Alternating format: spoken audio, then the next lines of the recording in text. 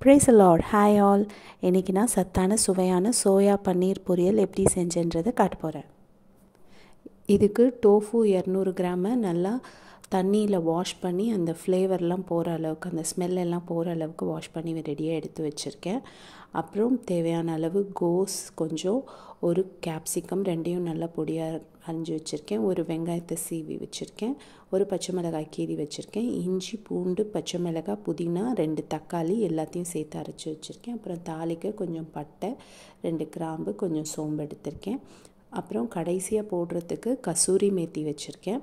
இதை வந்து லாஸ்ட்டாக க்ரஷ் பண்ணி போடணும். அப்புறம் எனக்கு தேவையான அளவு மிளகாத்தூள் கரம் மசாலா தூள் அப்புறம் உப்பு அப்புறம் தேவையான அளவு எண்ணெய்.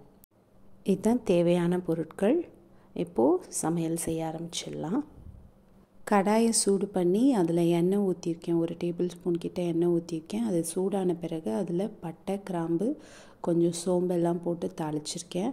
அது தாளித்த பிறகு அதில் நீளமாக வெட்டின வெங்காயம் பச்சை மிளகாய் போட்டு நல்லா வதக்கிக்கிறேன். அது நல்லா வந்து வதங்கணும். அது வதங்கி முடித்த பிறகு அதில் கோஸ் போட்டு வதக்கிக்கலாம். இப்போதைக்கு குடமிளகா போட மாட்டோம். கோஸ் போட்டு அது நல்லா வதங்கின பிறகு அரைச்சி வச்ச விழுதையும் போட்டு இப்போ அதில் இருக்க பச்சை ஸ்மெல் எல்லாம் நல்லா போகணும். அதனால் அதை நல்லா கிளறிட்டு ஃபுல் ஸ்லோவில் வச்சு ஒரு அஞ்சு நிமிஷம் ஸ்லோலே வேக விடலாம். அதை வெந்த பிறகு அதில் மிளகாத்தூள் அப்புறம் கரம் மசாலா தூள் ரெண்டும் அரை அரை ஸ்பூன் போட்டு அதோட பச்சை வாசனை போகிற வரைக்கும் திரும்ப வதக்கி விடணும். இது நல்லா வதங்கின பிறகு அதில் குடமிளகாவை போட்டு அதை நல்லா வதக்கிக்கிறோம். அது ஒரு ரெண்டு நிமிஷம் வதக்கினா போதும். அப்புறம் இந்த சோயா பன்னீரை பொடியாக கையிலே உதுத்து விட்டோன்னா போதும். உதுத்து விட்டு தேவையான அளவு உப்பு போட்டு கிளறிக்கலாம்.